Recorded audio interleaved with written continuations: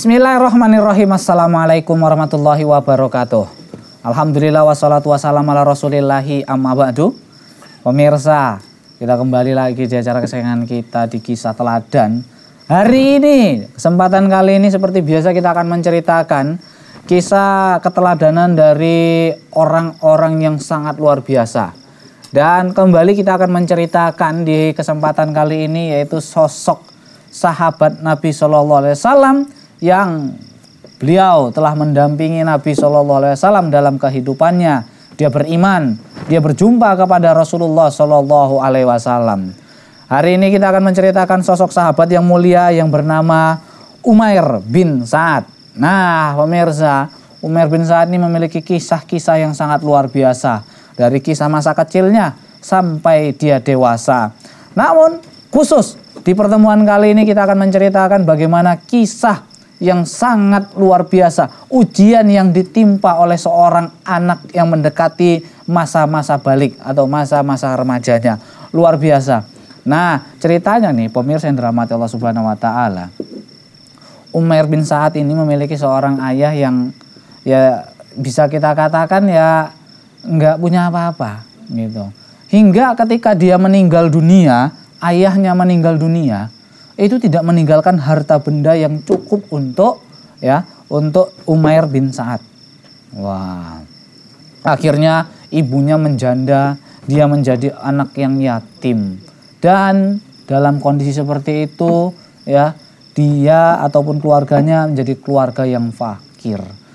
Nah, pemirsa, alhamdulillah ya, syukurilah eh, atas segala kehendak yang Allah berikan kepada kita semua.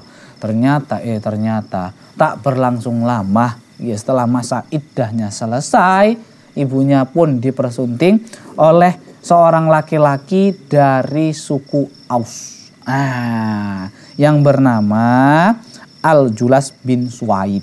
Al-Julas bin Suwaid ini luar biasa pemirsa. Punya harta yang melimpah. Nah, hingga akhirnya Umair bin Sa'ad pun terselamatkan masa kecilnya. Yang awalnya tadi dia kere, pakir ya.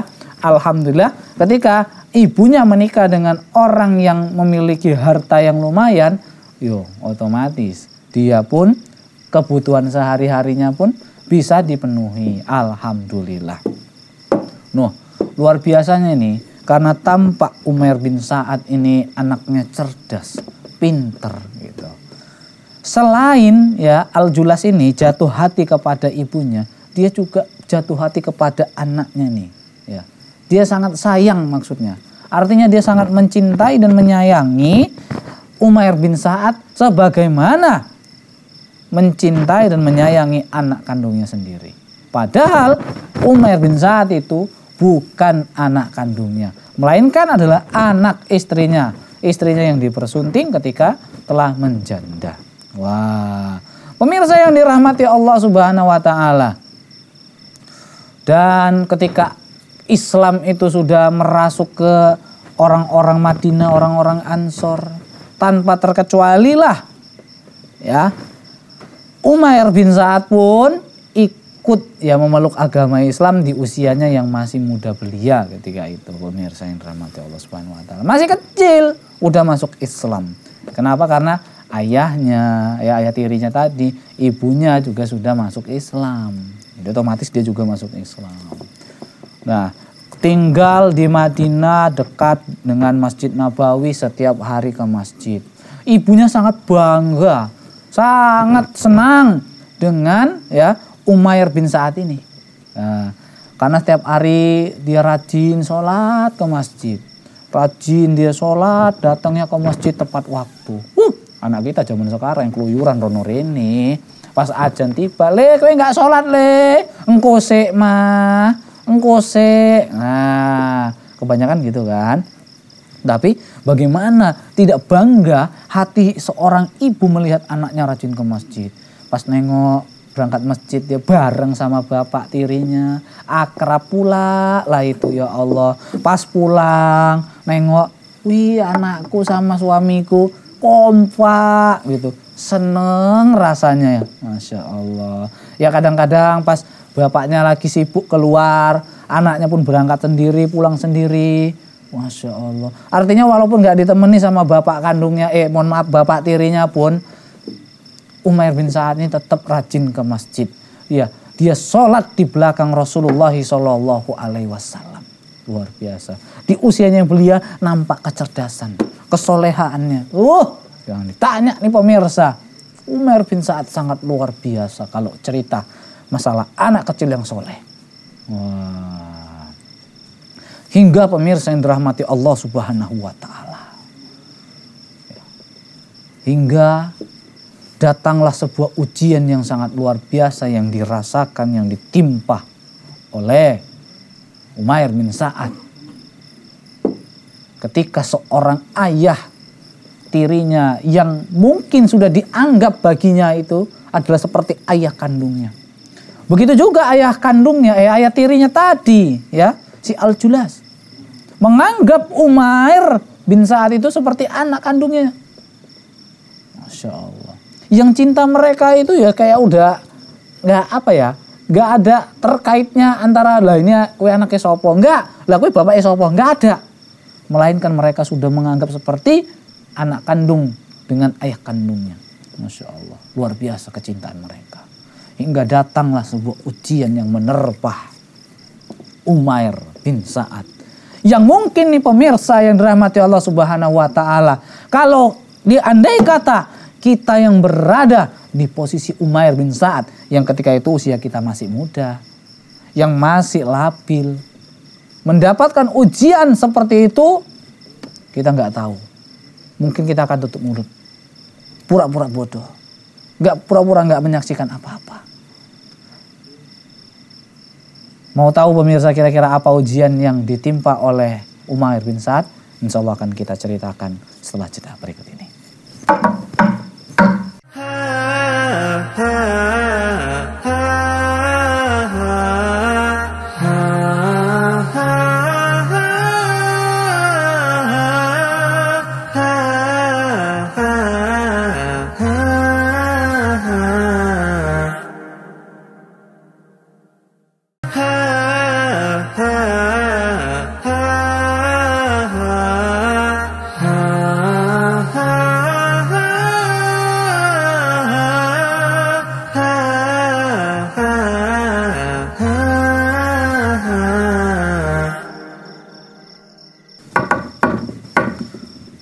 Pemirsa kita kembali lagi di acara kisah teladan. Kita masih menceritakan sosok sahabat yaitu Umair bin Sa'ad. Ya yang ketika itu masih usianya muda belia. Ya kurang lebih sekitar 10 tahunan lebih ya atau lebih dari itu sedikit. Nah pemirsa yang dirahmati Allah Subhanahu Wa Taala dia mendapatkan ujian yang sangat luar biasa ketika mendengarkan ya perkataan ayahnya yang perkataan itu adalah menandakan dia perkataan kekufuran atau perkataan seorang orang munafik dia mengatakan kalau katanya kalau Muhammad itu benar adalah seorang nabi maka kita lebih bodoh daripada keledai.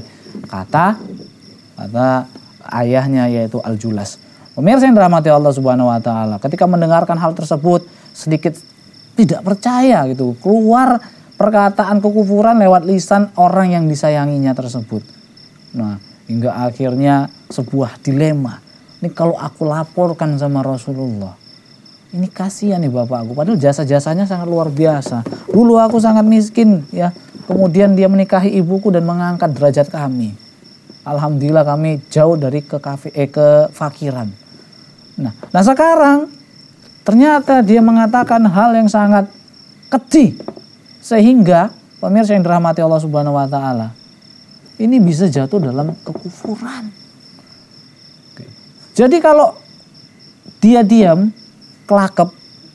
Ini sama aja nih. Seperti halnya dia berkhianat kepada Allah dan Rasulnya.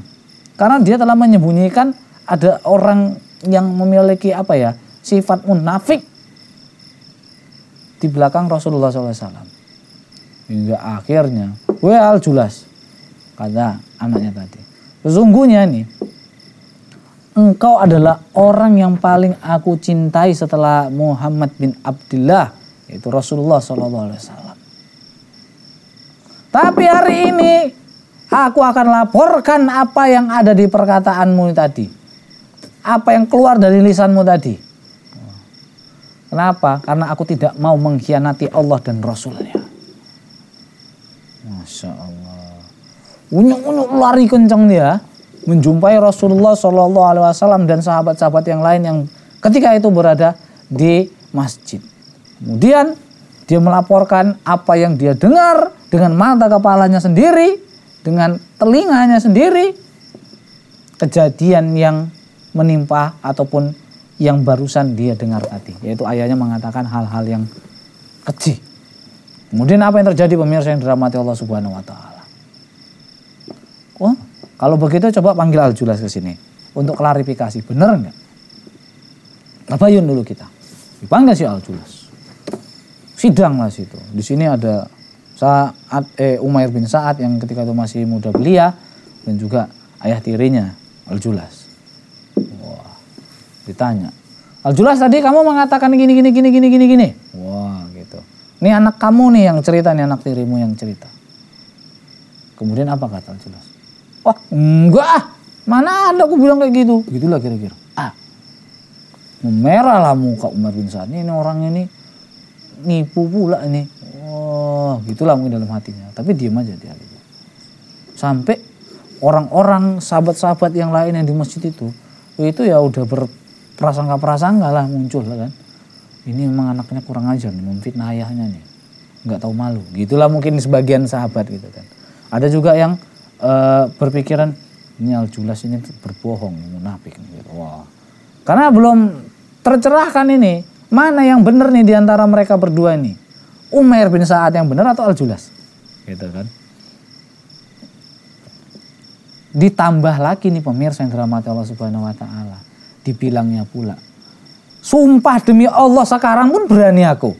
Gitu pula kata Al-Julas. Nggak pernah aku ngomong perkataan-perkataan kayak gitu. Oh macam makin apalah apa namanya memerah wajah dari Umair bin Sa'ad. Ini orang tuanya makin pinter pula nih nyelimur nih kan. Oh akhirnya pemirsa yang dirahmati Allah Subhanahu Wa Taala berdoalah dengan kusuk ya. Umair bin Sa'ad. Ya Allah Berikanlah tanda-tanda kebesaranmu ya Allah. Tunjukkanlah kebenaran yang mana ya Allah. Di antara orang meragukan si Fulan ataupun meragukan Umair bin Sa'ad atau meragukan si Al-Julas. Akhirnya pemirsa yang dirahmati Allah Subhanahu wa taala. Tiba-tiba Allah Subhanahu wa taala menurunkan wahyunya di Rasulullah. Rasulullah pun duduk tenang, berdiam dan para sahabat yang lain tahu. Nah, ini wahyu lagi turun ini. Wah. Dan pemirsa, akhirnya turunlah surah At-Taubah ayat yang ke-74 dikatakan. Yang artinya gini nih. Mereka orang-orang munafik itu bersumpah dengan nama Allah bahwa mereka tidak mengatakan. Sesungguhnya mereka telah mengucapkan perkataan kekafiran dan telah menjadi kafir sesudah Islam dan e, me, dan mengingini apa yang mereka tidak dapat mencapainya. Mereka tidak mencela Allah dan Rasulnya kecuali karena Allah dan Rasulnya telah melimpahkan karunia-Nya kepada mereka.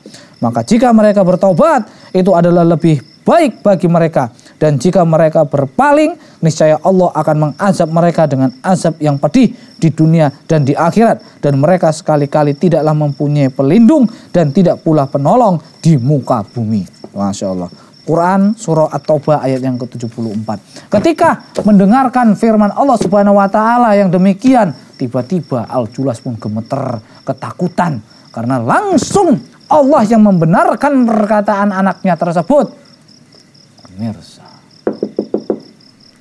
Akhirnya Al-Julas ketakutan dan bertobat seketika itu pun. Nangis, ya Allah ampuni aku ya Allah. Takutan. Rasulullah maafkan aku, aku bertobat, aku gak mau lagi. Bertobat akhirnya. Nah pemirsa yang dirahmati Allah subhanahu wa ta'ala, maka berbahagialah ketika mendengarkan kata taubat dari Al-Julas ketika setelah ditegur langsung dari langit oleh Allah Subhanahu wa taala dan terungkaplah kebenaran yang sesungguhnya ternyata Umair bin Sa'ad lah ya, dalam keadaan yang benar. Itulah kisahnya dan alhamdulillah eh, kehidupannya pun kembali normal, ayahnya sudah tobat dan kehidupannya pun Islamnya terjaga insya Allah.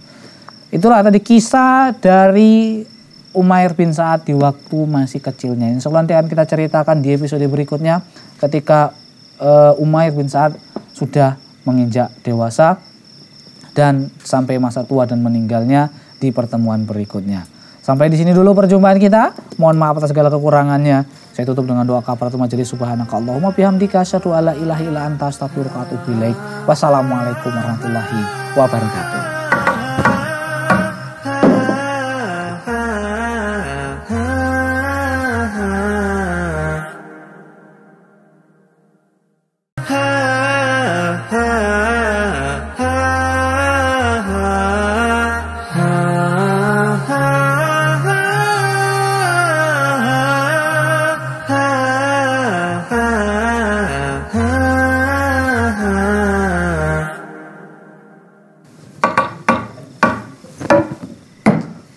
Pemirsa, kita kembali lagi di acara kisah teladan.